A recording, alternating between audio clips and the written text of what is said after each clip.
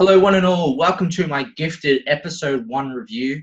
Um, what I thought about the Gifted episode one of season one of Gifted.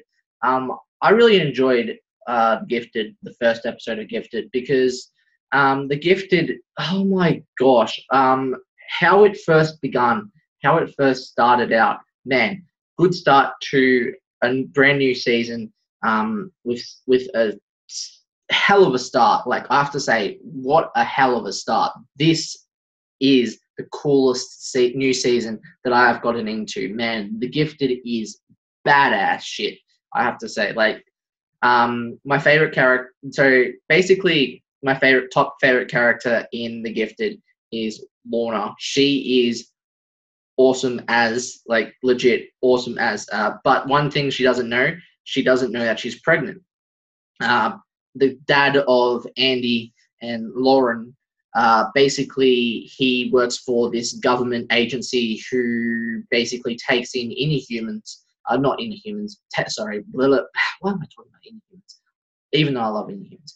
But um, yeah, he works for this agency and basically uh, he takes in mutants uh, with evil abilities. So basically, the mutants that cause harm, the agency takes in and basically has basically has them and captures them to contain them basically. And after and in the in the start uh, basically Lorna and uh, the team uh, kind of like the X-Men team in a way and they do mention a lot of the X-Men in the Gifted so I recommend if people love like the Marvel Universe, X Men. Watch The Gifted. I recommend it. Um, they do mention a lot of the X Men in this new series um, called The Gifted. Brilliant, brilliant series. Andy, he's awesome. He he in this uh, first episode, he discovers his powers and what they are um, because he doesn't know that he's a mutant, uh, and he's the son of the agent guy who basically works for the government agency who takes in mutants that have these bad kind of powers and that they think they're a threat. Um, so, so he basically wants to look after his kids, which is um, also Lauren. She has a, a special ability too because she's a mutant also.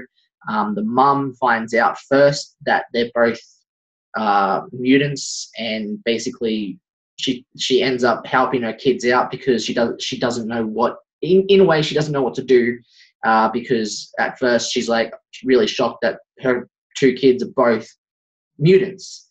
And the thing is, I love how Andy discovers that when he's getting bullied um, in school um, by these bullies, that's when he unleashes his power, his mutant power, which I really love. Like, was there was this there was this like prom uh, dance thing that he went to, and basically he unleashed his power because bullies turn on turned on the hot water and then basically when he screams there's like a sonic kind of boom that happens and basically that's what triggers his emotions. So his emotions trigger his mutant ability which is the whole sonic boom kind of thing which i really enjoyed and it basically took down the whole entire school which i love that scene.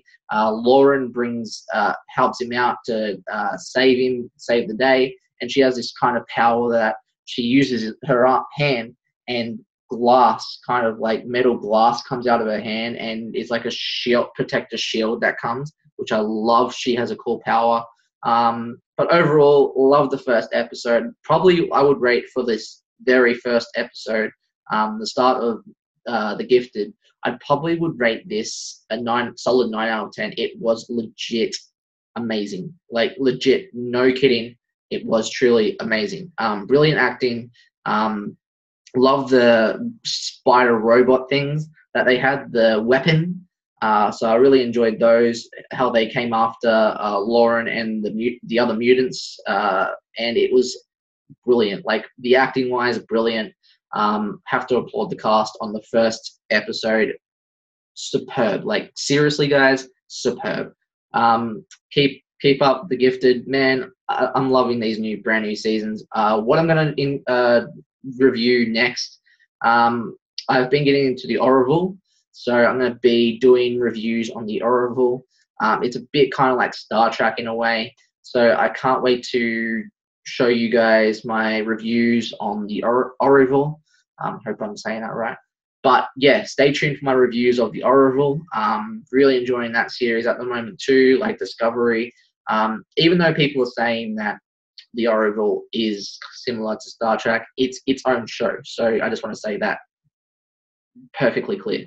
Um, but thank you guys for tuning in to my gifted uh, season one episode uh, review uh, of episode one. So stay tuned for more gifted reviews. Um, I'm slowly getting into the episodes, so bear with me all uh, and see you guys next time for more gifted reviews. Bye for now.